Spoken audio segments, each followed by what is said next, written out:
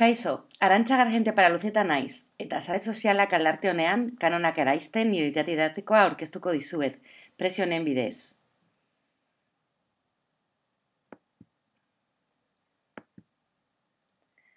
Sortu nuen, guri irudiaren eta posturio jarreran inguruan kontzientziazioa, kritikotasuna, emakumeen bizibilizazioa eta praktika honak lantzeko.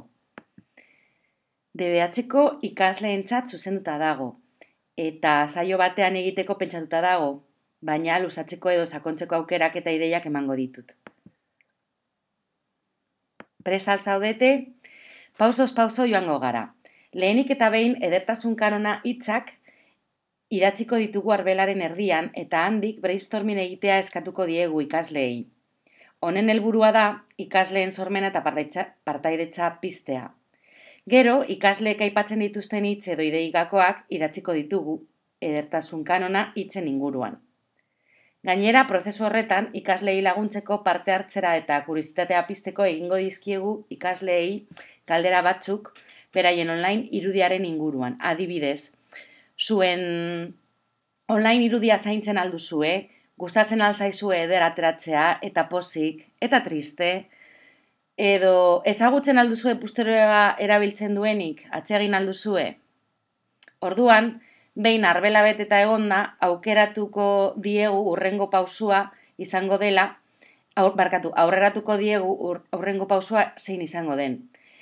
Eta Instagrameko kontuetan agertzen diren edertasun arau edo kanonen adibide on batzuk ikusiko ditugula esango e, diegu. Eta e, bide batez azalduko diegu banatutako horritzurietan bere iritzia idatzi beharko dutela. Instagrameko kontu hauen inguruan agertzen diren irudien inguruan. Iritziak anonimoak izan behar dira eta sistema hau erabiltzeko helburua da e, ikasle guztiak, bai lotxatiak, bai hausartak, itxegitera, itxegiterakoan, ba, denak, denek eraberdinan parte hartzea. Bukaeran, irakasleak eta, ikas, e, eta ikasleen iritziak behin irakurrita, iratzitako ideiak botako ditu osenki errespetuzko eztabaida sortzeko.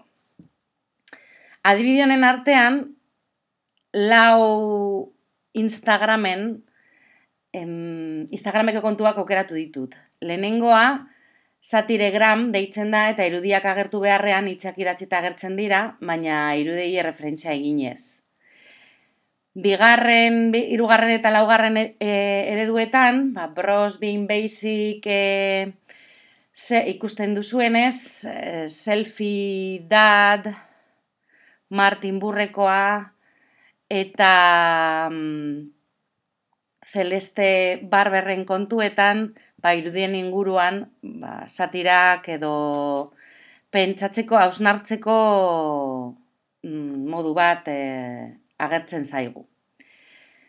Eta hori da e, mamia, eta urrengoa, bigarren zaiorik bai, e, maiaren arabera proiektu hau luzatzeko nahian, beste zaio batean jarraitu dezakegu.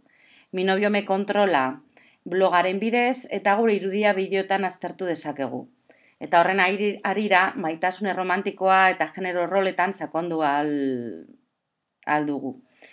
Eta hau da dena, erabiliteko, erabilitako baliabideak hausek dira, kulturadigitala.eus eta moinobiomekontrola.blogspot.com e, eta mila esker guztioi zure arretagatik eta kurtso arduradunen proiektu hauek e, parkatu, kurtso arduranei proiektu hauek posible egiteagatik ere mila esker. Agur!